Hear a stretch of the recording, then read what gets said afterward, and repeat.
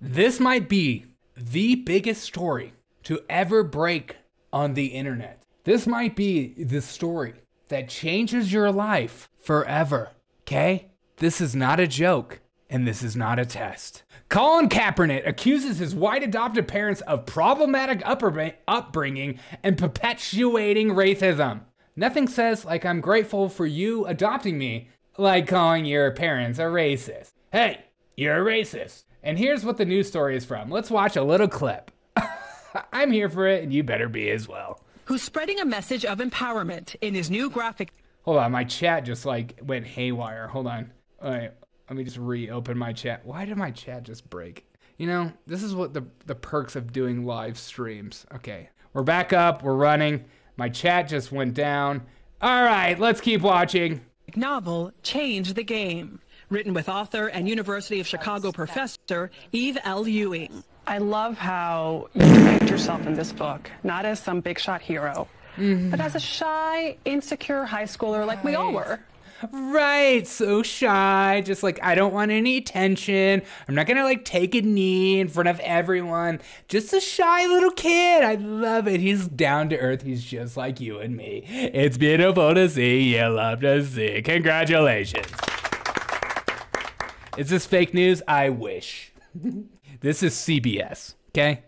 I mean, I'm speaking for you, but. yeah, yeah, no, absolutely, absolutely. Growing up, I was a I think still am a pretty introverted person. I hope it's true to form. I'm so introverted. That's why I'm doing this interview. I'm introverted. Hey, don't put the cameras on me. I'm an introvert. I'm very meek. don't do a documentary on me. don't put posters on me everywhere. I'm an introvert and that's just kind of how I navigate the world. It's mm. his true high school coming of age story, his journey embracing his blackness despite resistance from many, including his white adoptive parents. No! Love me, but there were still very problematic things that. Ah, uh, right.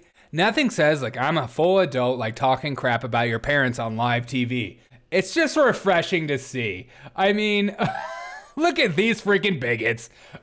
Oh my god, they're terrible. Oh, he looks like he hates them. I mean, look at this. Oh my god. Oh, sick. I feel bad for him. Oh, let's pray for him. it's just disgusting. Uh, I mean, change the game, a graphic novel. Uh, so does he partly hate himself? Yeah, exactly. Cap is a joke. How dare you say that? Uh, sometimes parents cannot be a very good. It's a thing. Yeah, that is true. Uh, but maybe you don't talk about how terrible of a parents you were, especially if you were adopted on live TV. I mean, look how terrible of a human being this person. They should have just left him. I went through. I think it was important to show that no, this can happen in your own home and how we move forward collectively mm. while addressing the racism that is being perpetuated. He mm. took cues from his icon, basketball star.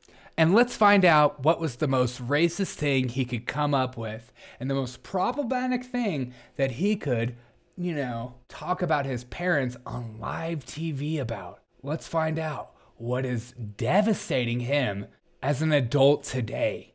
Allen Iverson, who he said wore his blackness like a suit of armor. And teenage Kaepernick wanted cornrows to match. He's getting what roles, his mom asked? Oh, your hair's not professional. Oh, you look like a little thug. Your mom become, said that to you. Yeah. And those become spaces where it's like, okay, how do I navigate this situation now? But Right. It's like my mom always let me get whatever haircut I wanted, no matter what age I was. oh, Put these people in jail.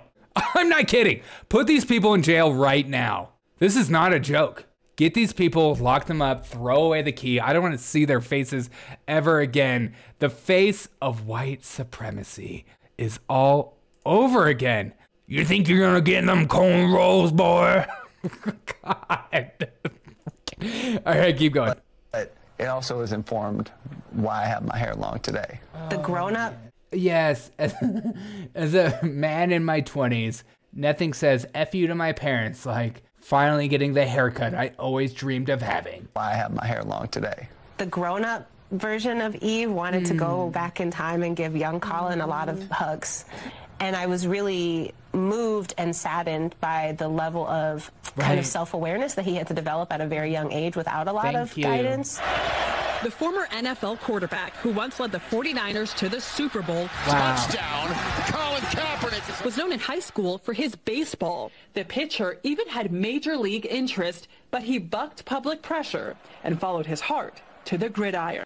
How do you wear your blackness, says Papa? Oh, you must be white. you don't get it. There were a lot more black people in football that I was like, I found some community here. Do you still want to play football professionally? Mm, mm, I only like being around my own kind, is like literally what he said. Awesome. Are you racist? Absolutely. I woke up this morning before our events, trained five, six days a week.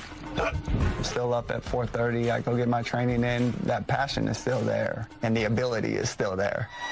Who spread Except, you know, when whole NFL teams try to scale, schedule a tryout, then you don't show up and then you want to change the rules and stuff like that. Yeah, you're amazing. Uh, it's just like, what, what, why do they shove these people in our faces? I mean, this is CBS. Who is still talking about freaking Colin Kaepernick? Nobody. Nobody cares. And they're just like, look, you need to care about this person. This person will one day run for the president of the United States. And you need to celebrate him forever.